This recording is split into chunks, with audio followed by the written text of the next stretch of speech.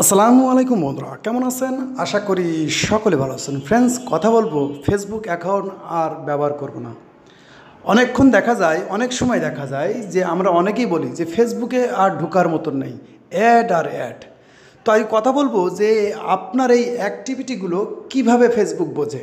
অর্থাৎ আপনি বিরক্ত হয়ে গেছেন ফেসবুক ব্যবহার করতে করতে, কারণ আপনার ফ্রেন্ডদেরকে না পেয়ে আপনি শুধুমাত্রই পান অ্যাড আর অ্যাড কারণ কি? লক্ষ্য করে দেখবেন যে আপনার যে ডিভাইস আপনার যে মোবাইলটা আছে, এই মোবাইলটা আপনি যখনই গুগলে ইনস্টাগ্রাম যে কোনো সোশ্যাল মিডিয়ায় গিয়ে কোনো কিছু সার্চ করলেন, সেই জিনিসটা আপনি তার পরবর্তীতে যেখানে যাচ্ছেন, সেই জিনিসটা দেখানো হচ্ছে।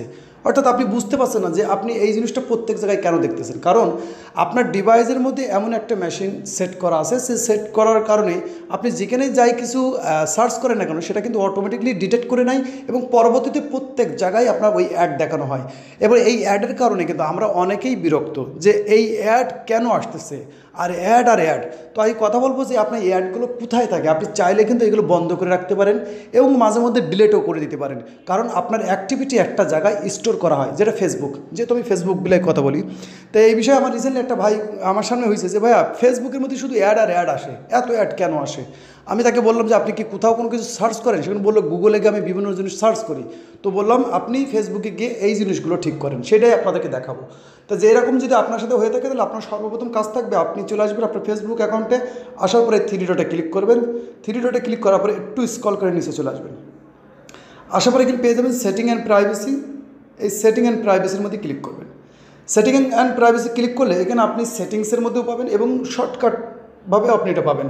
তো এটা দেখতে পারেন যে আপনি আগে সারাদিন ধরে কী করেছেন সেটাও দেখতে পারেন, কিন্তু আমরা দেখব যে আমরা এগুলো কীভাবে ডিলিট করব। তাই এখানে দেখবেন প্রাইভেসি শর্টকাট এই প্রাইভেসি শর্টকাটের মধ্যে যদি ক্লিক করি, তো এখানে কিন্তু আপনার অনেক কিছু আছে। আমরা অ্যাকাউন্টের অনেক তথ্য এই জায়গায় আছে।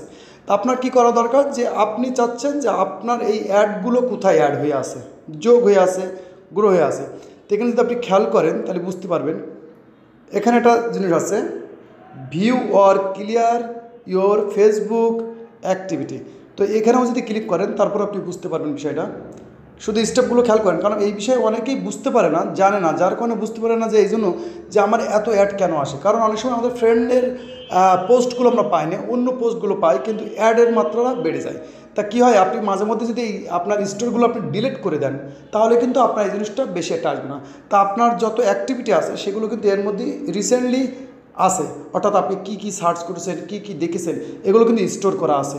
এবং যদি এখানে আরেকটা স্টেপ দেখেন, এখানে কিন্তু আপনার অ্যাক্টিভিটি মেলা আছে।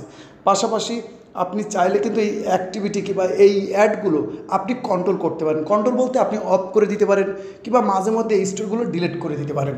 তো অফ করার দরকার নেই। মাঝে মধ্যে আপনি যদি এখানে এই পয়েন্টগুলো খেয়াল করেন, এই পয়েন্টগুলো খেয়াল করেন, তাহলে আপনি বুঝতে পারবেন।